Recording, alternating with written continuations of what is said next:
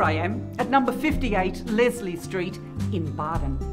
This family friendly home is just a short stroll to the Ithaca State School.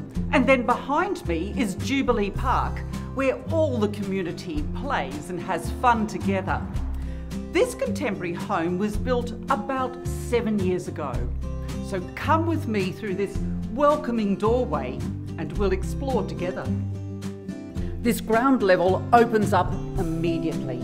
You've got your dining area, your lounge area. It's all open plan. Look at this great central stone bench top, European appliances, and of course, plenty of storage for the chef.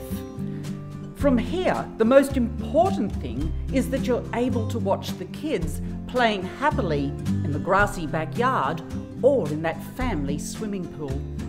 There's also a play area here that can be closed off, so all the toys can be easily hidden away when that guest arrives.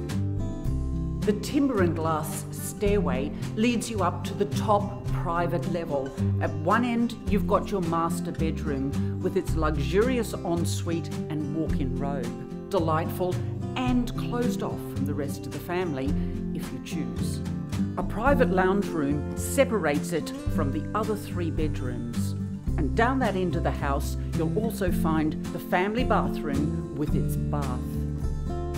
I know a lot of families are looking for this easy flow floor plan. It's extremely low maintenance, so you can spend your time with your family and friends enjoying this Bardon lifestyle.